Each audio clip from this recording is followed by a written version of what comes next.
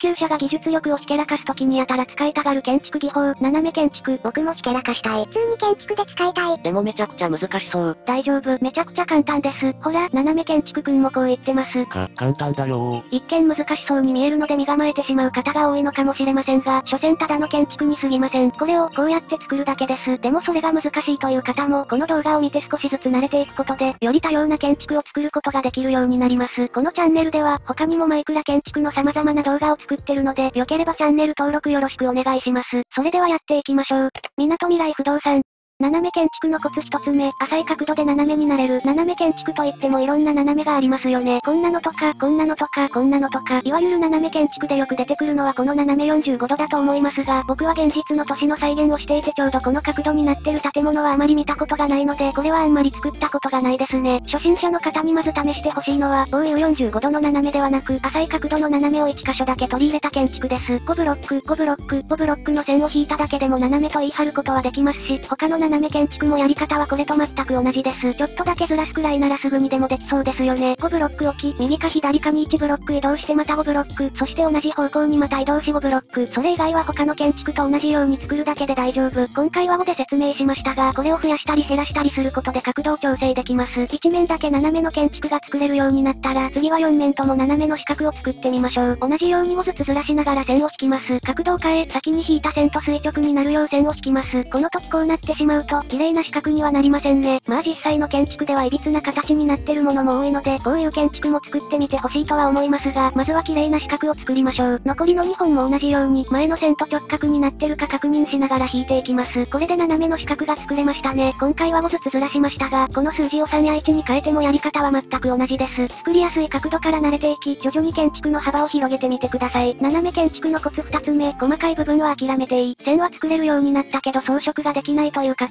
とてもわかります。もともとなんかカクカクしてる上、さらにギザギザになっちゃったんだからどこにどう置いていいかわかんなくなりますよね。基本的に装飾の仕方は斜めじゃない建築と同じなので、斜めの壁でも斜めという先入観を捨てて、これは斜めじゃないと自分に言い聞かせながら装飾した方が楽だと思いますが、それだとどうしてもうまく置けない箇所も出てきます。例えばこういう雑居ビルを斜め45度で作るとして、この突き出し看板の部分をしっかり突き出したいけど、棒を置いてしまうと突き出しすぎな気もするし、逆にこうすると埋もれてなんか変な感じになってしまいましたね。旗をこの2箇所に置きたい時も、どちらかを置いてしまうともう一方は置けなくなってしまうので、どちらかは置けなくなってしまいます。45度で作るとなると、どうしてもこういうことはよく起こります。対処法は2つ、角度をもっと浅くするか、諦めて強行突破です。僕のワールドは完全再現を目的としているため、現実と違う角度で作るなんぞ死んでも許しません。なので僕の建築は全て強行突破で乗り切っています。ただオリジナルで作っている方や、再現でもそこまでは気にしてないという方なら角度をうまく調整するのもありだと思います。とはいえ、角度を変えようが変えまいが出来栄えは大きくは変わらないことの方が多い気がしますね。正直細かい部分がどうなってるか気になるのは作るときくらいだと思います。じゃあ逆にどこをこだわればいいのかという方にはこの2つの動画をおすすめします。それから2回以降の回はとりあえずコピーで作りたいところですが、周りに建物があるとどうコピーしていいかわからないですよね。そんな時こそワールドエディットです。セル、ポリーと入力しコピーしたい部分の角をタップしていくだけ。あとはスタックで複製すれば、周りの建物を壊さず複製できます。細かいやり方や他のコマンドはこちらの動画で解説してるので、ぜひ見てみてください。斜め建築のコツ3つ目、最終的には2つの長さの線を混ぜてよりいろんな角度の建物を建てれるようにする。これは正直別に覚えなくていいと思うんですが、さらに複雑な建築ができるようになりたいなら知っておいて損はありません。例えば、2、2、3、2、